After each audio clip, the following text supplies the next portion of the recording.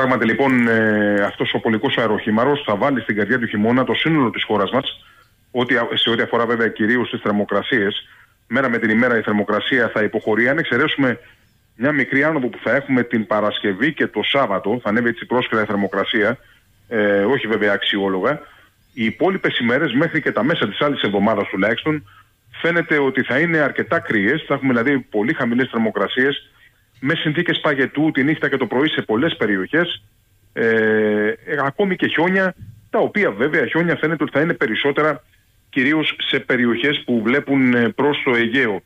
Και αυτό βέβαια το λέμε γιατί αυτή η πολική αέρια μάζα που θα κατέβει με τη βοήθεια του πολικού αεροχημάρου στα δικά μας γεωγραφικά πλάτη, θα φτάσει μέχρι και τη γειτονιά μας, για να μπορέσει να δώσει τις χιονοπτώσεις θα πρέπει να περάσει μέσα από το Αιγαίο, να πάρει υγρασία και να δώσει έτσι βροχές στα πιο χαμηλά υψόμετρα και χιόνια ε, σε ορεινές ή μειωρινέ περιοχές, ακόμη όμως και σε παιδινές περιοχές, ιδιαίτερα ε, από την Κυριακή και, τη, και στη συνέχεια. Προσοχή βέβαια χρειάζεται και στους βορειάδε, οι οποίοι θα ενισχυθούν και θα, θα κάνουν έτσι την αίσθηση του κρύου πιο έντονη. Και γενικά φαίνεται πλέον ότι ανοίγεται μπροστά μας ένα μεγάλο διάστημα με έναν άκρο χειμωνιάτικο καιρό, κάτι το οποίο βέβαια άργησε να έρθει, αλλά πλέον ε, έχει έφτασε και στην περιοχή μας και ελπίζουμε βέβαια να μην δημιουργήσει και προβλήματα. Κύριε Μαρουσάκη, ε, μου λέτε και μου δίνετε δεδομένα που έχουν να κάνουν με όλη την Ελλάδα. Να το επικεντρώσετε λίγο στην Κρήτη, να δω τι δεδομένα θα έχουμε, να ακούσουμε τι δεδομένα Βεβαίως. θα έχουμε. Βεβαίως. Και σε ό,τι αφορά λοιπόν και για την περιοχή της Κρήτης, φαίνεται ότι οι θερμοκρασίες τις επόμενες ημέρες θα είναι γενικά χαμηλές. Όταν λέμε χαμηλές, δεν θα ξεπερνάμε τους 12 με 14 βαθμούς αργά το μεσημέρι. Τη νύχτα και το πρωί θα έχουμε ακόμα και μονοψήφιες θερμοκρασιακές τιμές. Και βέβαια αυτό το κύμα ε, ψύχους που περιμένουμε από την Κυριακή και στη συνέχεια, σύμφωνα και με τα τελευταία προγνωστικά στοιχεία, θα απασχολήσει και την περιοχή της Κρήτης, που σημαίνει ότι η θερμοκρασία θα υποχωρήσει περισσότερο, οι βοριάδες θα επηρεάζουν ε, την περιοχή της Κρήτης σε, σε χερσαία και θαλάσσια γενικότερα τμήματα και θα δούμε τα χιόνια και στην Κρήτη να κατεβαίνουν ε, γενικά σε αρκετά χαμηλά υψόμετρα.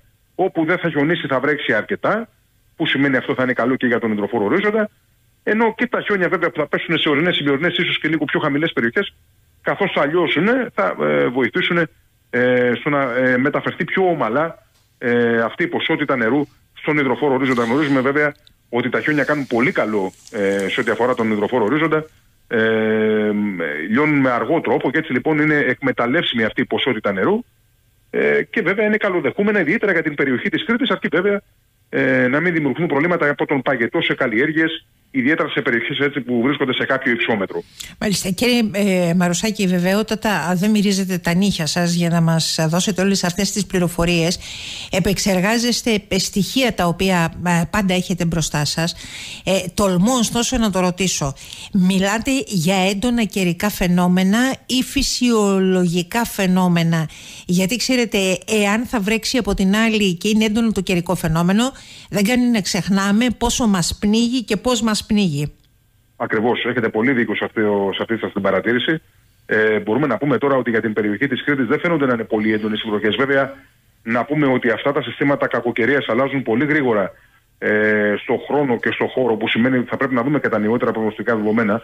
Αυτό που μπορούμε να πούμε με σχετική βεβαιότητα είναι ότι από την Κυριακή θα έρθει αυτό το ε, ισχυρό ψυχρό κύμα όπως όλα δείχνουν. Θα δώσει χιόνια σε βουνά, λίγο πιο χαμηλά βροχές ίσως ε, έχουν κάποια ένταση, αλλά όχι κανένας να δημιουργήσουν πλημμυρικά επεισόδια. Γιατί πλέον μπαίνουμε στον καιρό του βορειά, είναι πιο σταθερός ο καιρός. Δεν δίνει έτσι αυτές τις απότομες, τις ακραίες καταιγίδες. Ε, ιδιαίτερα πάνω βέβαια από, από τη ξηρά. Σε θαλάσσιε παραθαλάσσιε περιοχέ πάνω από τη θάλασσα μπορεί να δούμε ανάπτυξη καταιγίδων. Αλλά σε χερσαία έτσι τμήματα είναι σχετικά δύσκολο να αναπτυχθούν έτσι αυτές οι βίαιες καταιγίδες που δίνουν αυτά τα πλημμυρικά επεισόδια που δυστυχώς έζησε και η Κρήτη μας ε, τον Οκτώβριο. Είδαμε χαρακτηριστικά. Είχαμε και απώλεια. Έτσι. Ε, μας πήρε και μας σήκωσε τον Οκτώβριο. Ακριβώς. Άλλωστε, ο Οκτώβριο και ο Νοέμβρης είναι δύο μήνες οι οποίοι στην Ελλάδα δίνουν έτσι στη χώρα μας δίνουν τα, αυτά τα έντονα καιρικά φαινόμενα σε ό,τι αφορά τις βροχές. Πλέον έχουμε περάσει στο πιο ψυχρό.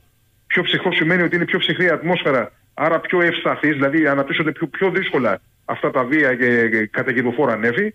Με αποτέλεσμα, κατά κανόνα οι βροχές που αναμένουμε να είναι σταθερής έντασης, μέτριας έντασης, ίσως και λίγο παραπάνω σε κάποιες περιοχές, αλλά ε, όχι ε, στο βαθμό που ζήσαμε ε, τον Οκτώβριο με αυτές τις ραγδαιότητες. Και βέβαια, ε, τονίζουμε μεγάλη μια φορά ότι και η Κρήτη θα έχει αρκετά χιόνια στα βουνά και πιο χαμηλά. Μάλιστα. Ξέρετε, εμένα με προβληματίζει ε, κάτι που λένε οι επιστήμονες γιατί βλέπω σήμερα ένα δημοσίευμα στην εφημερίδα Νέα Κρήτη με στεγνό χειμώνα θα πούμε το νερό νεράκι έλλειμμα 50 έως 60% χάθηκε ο Δεκέμβρης με το πολύτιμο χιόνι στα βουνά φεύγει ο ανοιξιάτικος Ιανουάριος και κορυφώνεται η αγωνία καθώς με τις απώλειες στον υδρολογικό κύκλο μοιάζει δύσκολο να αναστραφεί ας πούμε Ανατολική Κρήτη και το φράγμα από Σελέμη κάθε μέρα που περνάει ε, κατεβαίνει και η στάθμη του.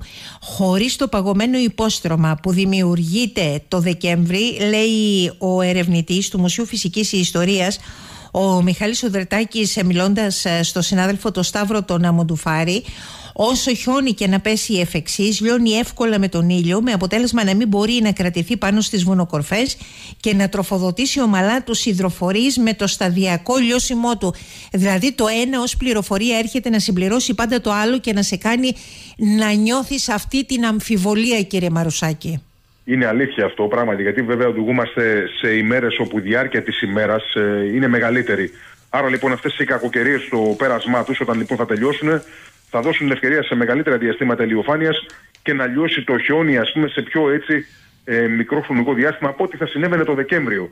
Ε, Παρ' όλα αυτά όμως, το ενθαρρυντικό στην όλη υπόθεση είναι ότι φαίνεται ότι ο Φεβρουάριος τουλάχιστον ε, στο πρώτο του μισό, εκεί δηλαδή που έχουμε και κάπως σχετικά σταθερά στοιχεία, για να δώσουμε μια εκτίμηση, φαίνεται ότι θα έχει αρκετές κακοκαιρίες. Ε, θα φέρει κακοκαιρίες από τα βόρεια τμήματα της Ευρώπης, οι οποίες αυτές οι κακοκαιρίες επηρεάζουν και την περιοχή της Κρήτης. Είναι σημαντικό αυτό, γιατί όταν έρχεται ο καιρός από τα δυτικά, πολλές φορές η Κρήτη και τα Δωδεκάνησα, το νότιο δηλαδή νοτιοανατολικό άκρο της χώρας μας, μένουν εκτός εξαιτίας της τροχιάς που ακολουθούν τα συστήματα ε, τα αυτά τα βαρομετρικά χαμηλά.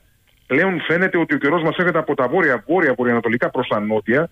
Άρα λοιπόν θα ευνοηθεί και η Κρήτη, τουλάχιστον μέχρι και τις 15 Φεβρουαρίου, που έχουμε έτσι κάποια σχετικά σταθερά στοιχεία από κάποιες κακοκαιρίες που αναμένουμε, οι οποίες αυτές οι θα δώσουν και αρκετές βροχέ στα πολύ χαμηλά έτσι υψόμετρα, αλλά και πολλά χιόνια σε λίγο μεγαλύτερα υψόμετρα. Αυτό ίσως είναι λίγο ενθαρρυντικό να μπορέσουμε να μετριάσουμε τη ζημιά που έχουμε πάθει από τι προηγούμενες μήνες, γιατί πράγματι είχαμε ε, μια έτσι παντελή απουσία, θα λέγαμε, του φθινοπόρου και ο χειμώνα μέχρι τώρα δεν έχει δηλώσει το παρόν. Τώρα σιγά σιγά προσπαθεί να πάρει τη σκητάλη. Πιστεύω όμως ότι και αυτό είναι έτσι μια σχετική παρηγοριά σε αυτό έτσι τον άνυδρο, το άνυδρο φθινόπωρο αλλά και το χειμώνα που έχουμε ζήσει μέχρι στιγμής. Τι είπατε πριν από λίγο, σταθερά στοιχεία με βαρομετρικά χαμηλά μέχρι 15 Φεβρουαρίου. Από εκεί και πέρα, σαφέστατα, ε, το είπαμε, δεν μυρίζετε τα νύχια σας. Αλλά μέχρι τότε δείχνει ότι κάτι γίνεται. Από εκεί και πέρα δεν ξέρουμε τι θα γίνει. Ακριβώς. Μέχρι τότε ε, μπορούμε να μιλήσουμε μια σχετική βεβαιότητα ότι θα έρθουν κάποιες κακοκαιρίες από τα βόρεια-βορειοανατολικά τμήματα της Ευρώπης που θα δώσουν και χιόνια και αρκετές βροχές και βέβαια είπαμε θα επηρεαστεί και η Κρήτη και τα Δωδεκάνη από αυτήν την όλη εξέλιξη. Στη συνέχεια είναι λίγο δύσκολο ε, να ε, έχουμε έτσι μια σχετικά καλή πληροφόρηση. Θα το βλέπουμε όμως αυτό. Πιστεύω ότι ο Φεβρουάριος πρέπει να καλύψει σχετικά το κενό που έχει αφήσει πίσω του και ο Ιανουάριος και ο Δεκέμβριος. Α ελπίσουμε βέβαια ότι η κάλυψη αυτού του κενού δεν θα γίνει με βία φαινόμενα. Αυτό είναι που θα πρέπει να κρατήσουμε για να μπορέσει και ο υδροφόρος ορίζοντας να εκμεταλλευτεί τις ποσότητες νερού που θα πέσουν από, το, από τον ουράνιο mm προφανώς.